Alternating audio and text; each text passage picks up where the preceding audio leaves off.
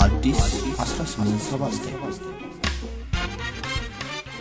ይህ የአዲስ 1879 የታሪክ ማስታወሻ ነው።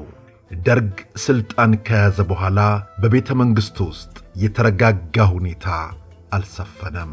በኤርትራ ችግር አፈታት፣ በተቃዋሚ ፖለቲካ ቡድኖችን አያያዝ፣ አገሪቱ በምትከተለው ፖለቲካዊ አቅጣጫ እንዲሁም በደርግ የውስጥ መዋቅራዊ አደረጃጀት ላይ የተለያየ ሊባል የሚችል አመለካከት ተንጸባርቋል።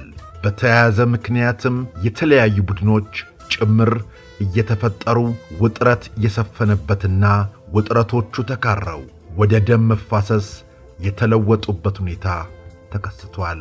ሌትናንት ጀነራል አማን ሚካኤል አንዶም፣ መቶ አለቃ ተስፋዬ ተክሌ፣ ጁኒየር ኤርክራፍትስማን ዮሐንስ ፍትዊ፣ ሻለቃ ኪሮስ አለማየው፣ የመቶ አለቃ ንጉሴ ነጋሳና የመቶ አለቃ ገበየው ተመስገን እንዲሁም ኮሎኔል አጥናፉ አባተ በ1970 ዓ ም የዚሁ ቅራሪና ሽኩቻ ሰለባዎች ሆነው አልፈዋል።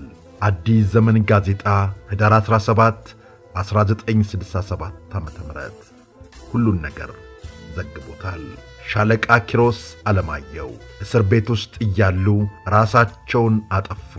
የመቶ አለቃ ገበያው ተመስገንና የመቶ አለቃ ንጉሴ ነጋሳ ደግሞ በጸረ አብዮተኞች ተገደሉ ተብሎ በመንግሥት መገናኛ ብዙሃን በወቅቱ የተሰራጨው መረጃ በብዙዎች ዘንድ ሐሰት እንደሆነ ይታመናል። ከዚህ በተጨማሪም ሐምሌ 6 ቀን 968 ዓ ም የደርግ የፖለቲካና የውጭ ጉዳይ ኮሚቴ ሊቀመንበር የነበሩት ሻለቃ ሲሳይ ሀብቴ የመፈንቅለ መንግሥት ሴራ ጠንስሰዋል ተብለው ተገድለዋል።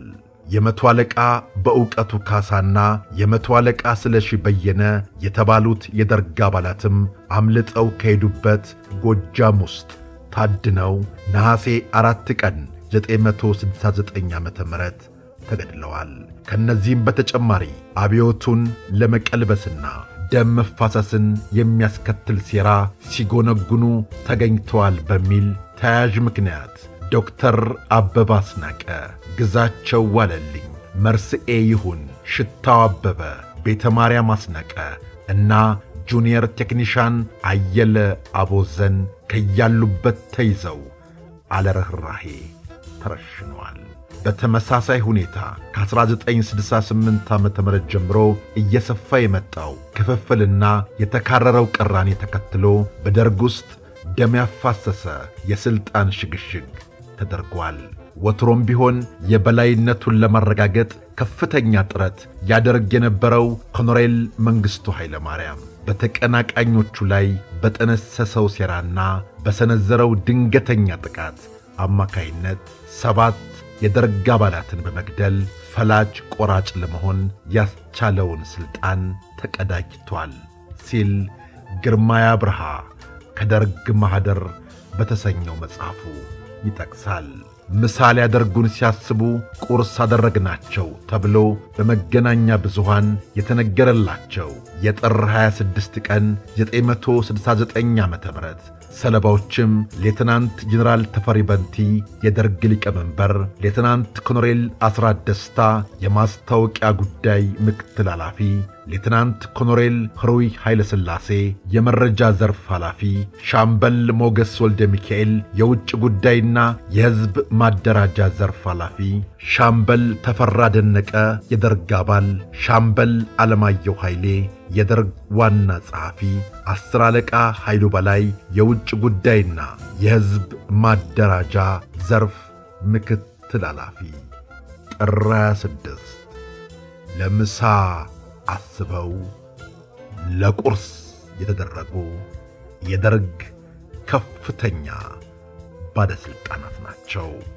ደርግ ወደ ሥልጣን ሲመጣ ያጋጠመው ክፍፍል ከፍተኛ ስለነበር አብረውት ለውጡን ያመጡትን በመግደል ቅርጥፍ አድርጎ ሊበላ በቅቷል።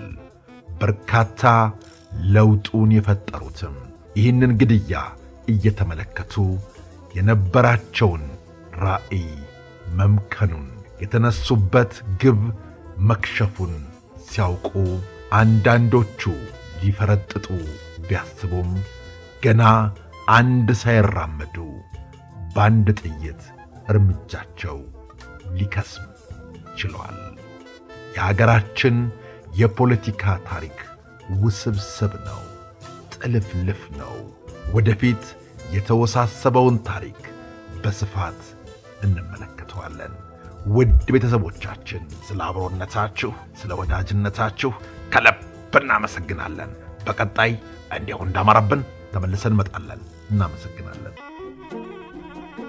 አዲስ 1879